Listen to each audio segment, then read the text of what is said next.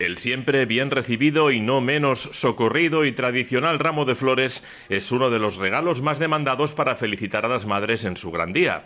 Una costumbre que poco a poco, y también puede que por su sencillez y en muchos casos también por su economía, ha ido calando profundamente en los más jóvenes que ya son el 23% de los compradores y que para el sector de la flor supone el 12% de las ventas del año.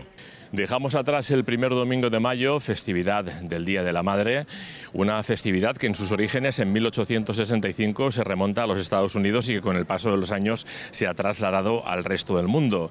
Una jornada en la cual evidentemente a las madres se les hacen regalos, pero una opción quizá más barata, pero también bastante socorrida y que gusta muchísimo son las flores. De hecho, son los más jóvenes los que poco a poco van adquiriendo esta costumbre de regalar ramos de flores, detalles florales a las madres. Domingo de mayo, Día de la Madre, así se ha celebrado. Así lo muestran los datos de la empresa Interflora. El 23% de los compradores están representados por la bautizada como generación Z, es decir, los nacidos entre 1990 y principios o mediados del año 2000, y el 21,52% por los llamados millennials, que son los jóvenes nacidos a partir de los 80. Es una, una cadena.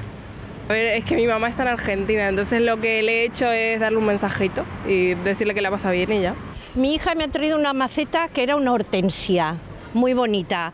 Y también me, mandó, me regaló el día de antes para hacerme las uñas y para pintarme las eh, cejitas. La verdad que mucho cariño, eh, un desayuno, que es lo que tuve tiempo a tener con ella porque trabajé todo el día de ayer. Ah, no me han regalado nada, mucho amor y desayuno, el desayuno, pero vamos, nada. Pues pinturas y, para facial.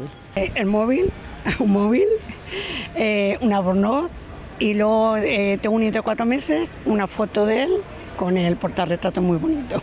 Con o sin flores, el primer domingo de mayo, como el resto de días del año, es siempre una ocasión especial para demostrar el amor y rendir homenaje a las mujeres que nos cuidan y nos han dado la vida.